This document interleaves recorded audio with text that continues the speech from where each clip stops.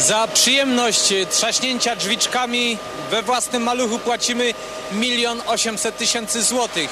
Jeżeli jest to bis, to cena wynosi już 2,5 miliona złotych. Panie dyrektorze, obie te ceny są jednak teoretyczne, bo przy odbiorze dopłacamy za siedzenia, za rozrusznik, za szyby. Czy tak być musi?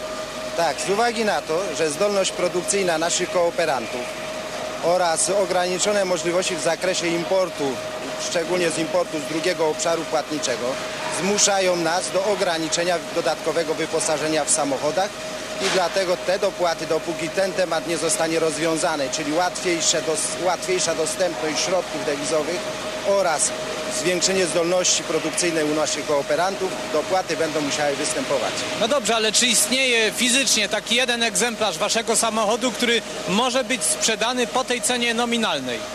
Istnieją takie samochody, chociaż chcę stwierdzić, że nasi klienci są zainteresowani w maksymalnym wyposażeniu swojego samochodu. Nie wiem doprawdy, czy ten niewielki samochód zasługuje na tak ogromną cenę.